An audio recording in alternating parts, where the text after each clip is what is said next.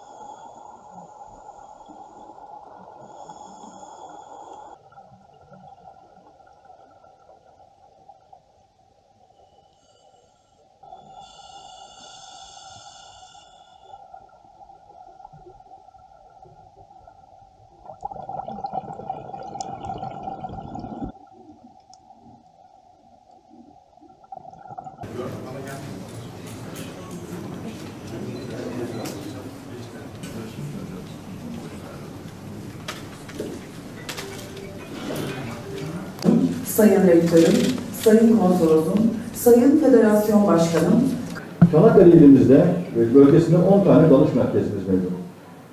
2022 yılında yapmış olduğumuz bir incelemede 4340 tane dalıcının bu bölgeye gelip dalış yaptığını, toplam dalış sayısı ise 8610. Çocuk dalışı, teknik dalış ve dalış turizminin parlayan yıldızı olan Çanakkale ilimizin önümüzdeki yıllarda 20 bin rakamına ulaşacağını hep birlikte göreceğiz. ortak tarihimizin değerli demirbaşları, Birinci Dünya Savaşı batıklarının korunması ve turizme açılması adımlarını da içeren Gelibolu Tarihi Su Altı Milli Parkı'dır. Gelibolu Tarihi Su Altı Milli Parkı yakınlarında 108 yıl önce batmış AE-2 denizaltısının Avustralya tarihi için önemi büyüktür. Birinci Dünya Savaşı'nda savaşına yön veren cephelerden olan Çanakkale Savaşları, dünya askeri ve siyasi tarihinin önemli dönüm noktalarından birisidir. Ancak unutulmamalıdır ki, Birinci Dünya Savaşı'nın önemli bir kısmı denizlerde gerçekleşti. Bugün suların derinliklerinde yatan gemi ve denizaltı enkazları bir zaman kapsülü niteliğinde bizleri 107 yıl öncesine götüren önemli birer bilgi kaynağıdırlar. Bilinmeyeni kimse koruyamaz.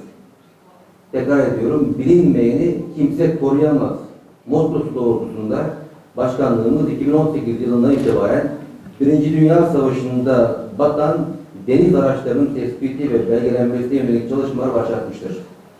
Çalışmalar kapsamında 150 kilometre karelik alanın tamamında tarama gerçekleştirilerek savaştan kalan tüm batıkların tespiti gerçekleştirilmiştir.